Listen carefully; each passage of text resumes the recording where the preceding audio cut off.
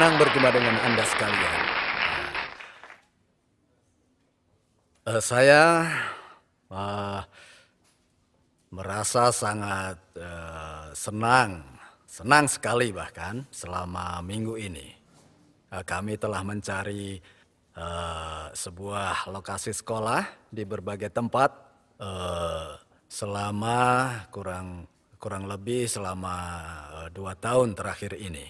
Dan syukurlah akhirnya uh, kami telah menemukan lokasinya. Ya. Uh, saya tidak akan membuat Anda belajar terlalu banyak. Uh, saya hanya akan memperbolehkan mereka yang terlahir sebagai seorang terpelajar dan betul-betul menikmati proses belajar untuk fokus dalam meneliti. Bagi mereka yang tidak terlalu mempunyai bakat akademis, maka akan ada banyak program menarik lainnya untuk mereka. Saya memegang teguh kepercayaan pada filosofi bahwa kita perlu mengedukasi anak-anak untuk melakukan hal yang benar.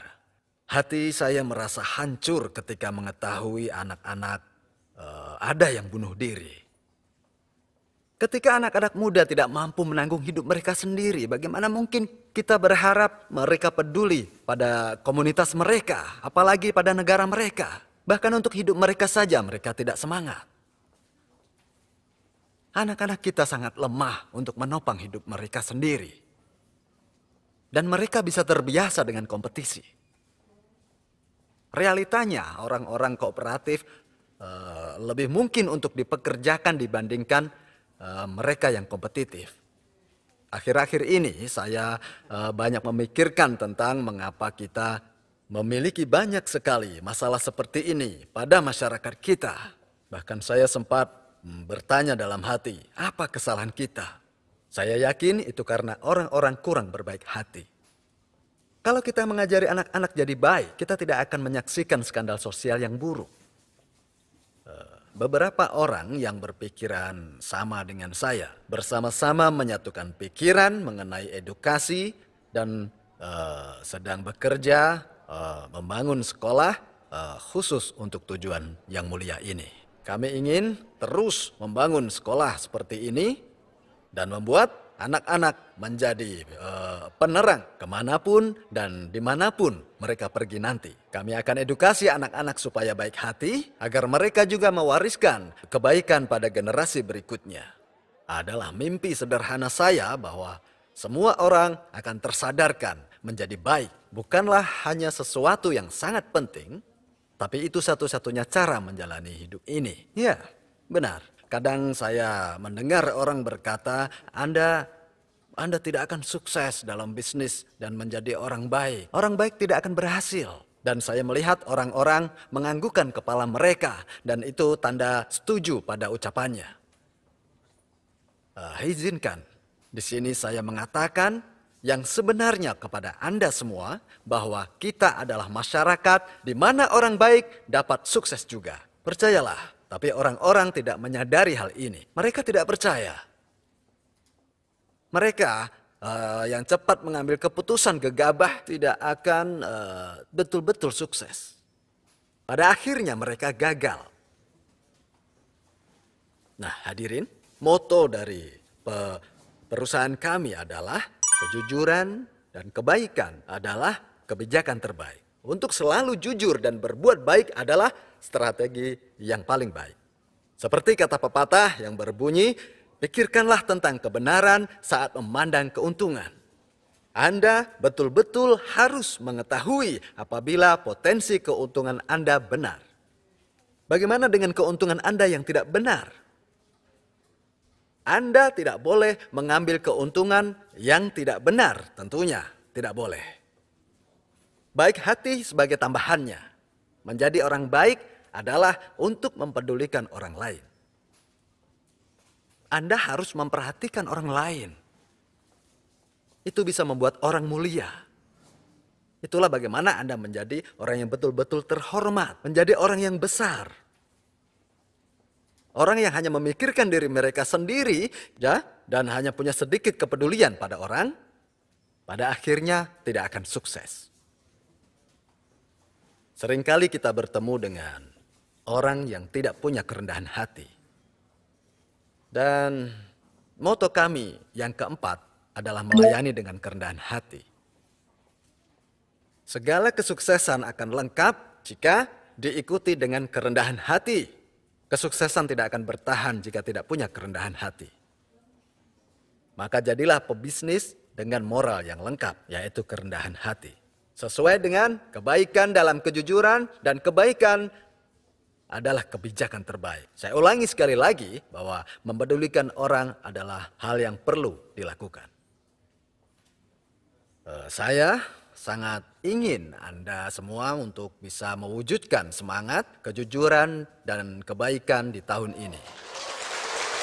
Tahukah Anda bahwa Atomi akan ditampilkan secara besar-besaran uh, pada salah satu media publikasi pemasaran jaringan di Tiongkok.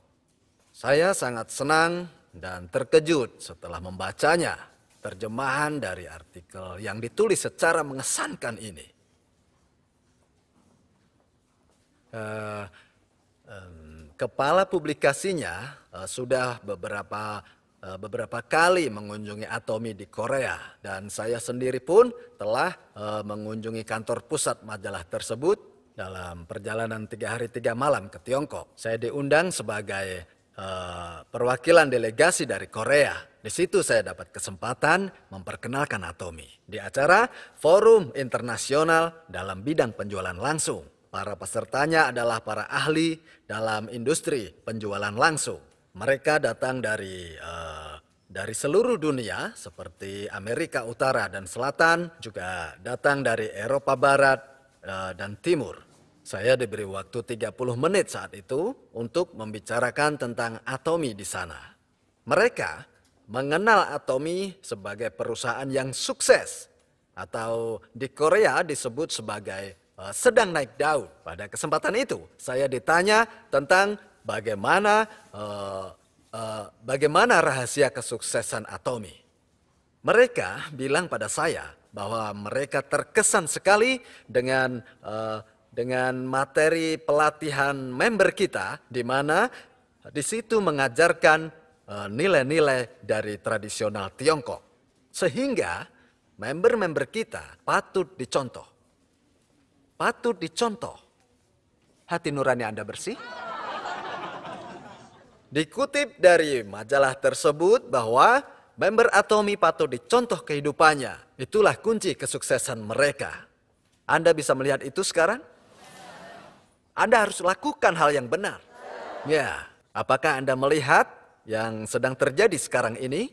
Kita digambarkan sebagai sebuah perusahaan contoh yang ingin sekali ditiru oleh perusahaan-perusahaan di Tiongkok.